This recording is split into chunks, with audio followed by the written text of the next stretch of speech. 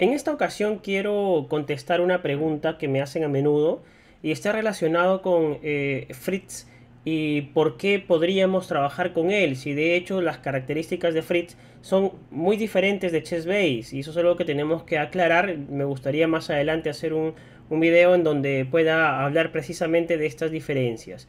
Bien, pero eh, ¿por qué entrenar con Fritz si de hecho eh, existen muchos módulos que juegan mucho mejor que Freeze 18, ¿no? Por ejemplo, tenemos Stockfish, tenemos a Houdini, tenemos a Komodo, Fat Fritz, entre otros módulos en realidad que eh, tienen mayor fuerza de juego que Fritz. Entonces, ¿por qué? ¿Por qué elegir un programa tan comercial y tan conocido como Fritz que ya hace mucho tiempo fue superado en fuerza de juego?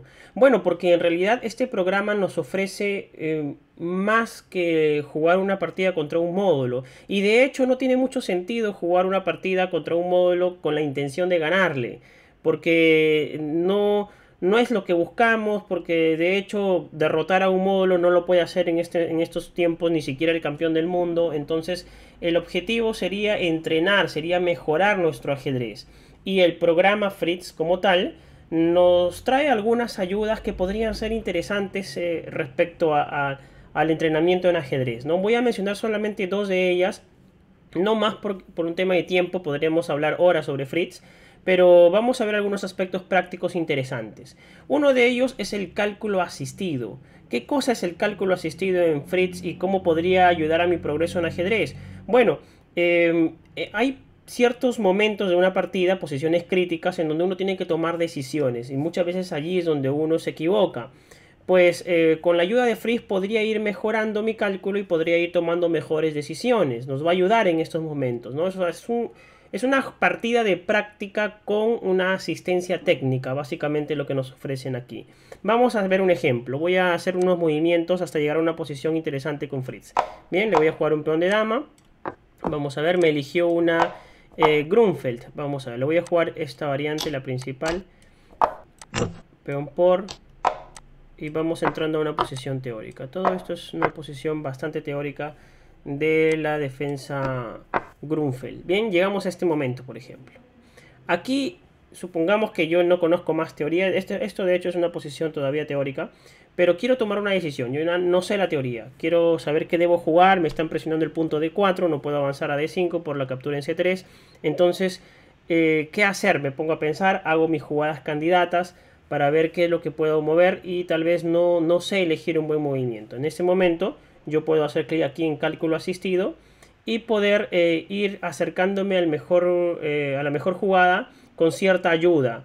¿no? De esta manera me voy preparando para lo que va a ser una competencia real. Por ejemplo, abro cálculo asistido y me dice acá, introduzco movimientos candidatos en el tablero. Haga clic en la anotación para avanzar o retroceder. Ahora les explico un poco eso. Bien, entonces voy a, a comenzar a calcular, a pensar en mis movimientos candidatos y voy a proponer uno acá ya con este módulo ejecutado de, entrenamiento, de entrenador de candidatos, dice acá. Entrenador de jugadas candidatas, en otras palabras. Bien, señale un potencial movimiento. Voy a hacer un potencial movimiento. A ver, digamos que eh, el mejor movimiento para mí podría ser torre C1, pienso yo, protegiendo el punto C3 para avanzar de 5. Vamos a ver si es correcto. Voy a hacer el movimiento y eh, me dice, usted ha encontrado uno de los tres movimientos candidatos. O sea, dentro de los tres mejores movimientos acabo de encontrar uno. Pero dice, aún no ha introducido el mejor movimiento posible. O sea que no es torre C1 la mejor jugada. Por acá me da alguna pista, amenace una jugada de torre.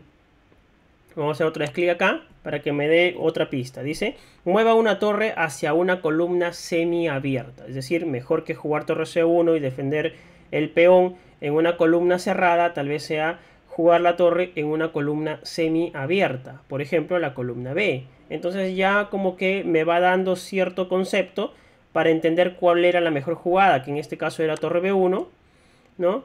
Eh, en lugar de torre C1. Cuando yo ya comprendí que la jugada es torre B1, ya fue muy obvio por las ayudas. Si necesito más ayuda, todavía puedo hacer clic acá y recibir más ayuda, ¿no? Yo ya sé cuál es la mejor jugada. Voy a poner OK y voy a quitar cálculo asistido, me va a regresar a la posición anterior y voy a hacer el movimiento torre B1, que es la jugada eh, más fuerte en esta posición.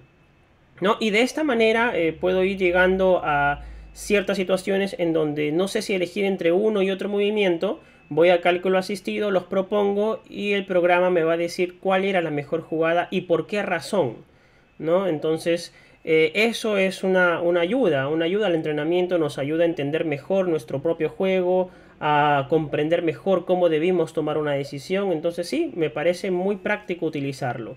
Bien, eh, antes de, culminar... ¿Qué tal una partidita de guerra termonuclear?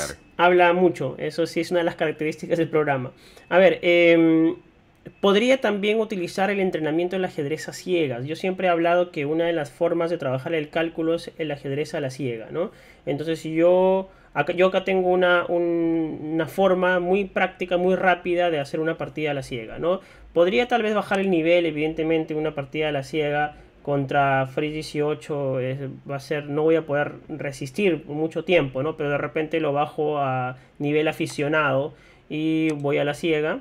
Entonces puedo hacer más movimientos y tratar de calcular más. ¿no? Aquí, por ejemplo, estoy jugando una partida, me está haciendo una defensa siciliana y ya estoy haciendo un entrenamiento a la ciega. ¿no? Caballo C3, alfil D6 no es un buen movimiento que, que está realizándome Freeze en este momento, pero le he puesto el nivel aficionado. ¿no? Entonces podría hacer yo una partida entera así a la ciega, a ver hasta dónde llego, hasta dónde resisto y luego analizarlo, ver cuáles fueron mis errores, en qué momento ya no puedo calcular más.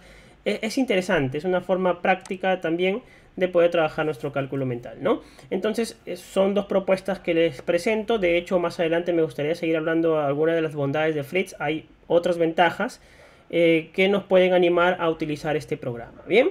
Eh, además, quisiera añadir algo para todos los que están viendo este video y han seguido hasta el último minuto. este programa como todos lo saben, es un programa caro. Fritz es de la empresa Chessbase y es un programa un poco difícil de adquirir para muchos, ¿no? Entonces, a los que están viendo este video, eh, son suscriptores del canal, eh, entren por favor a Facebook y búsquenlo como ajedrez silicio y también síganos allí. Eh, pueden hacer lo mismo en Instagram. escríbanme por inbox y vamos a darles alguna ayuda para que puedan tener el software, ¿bien?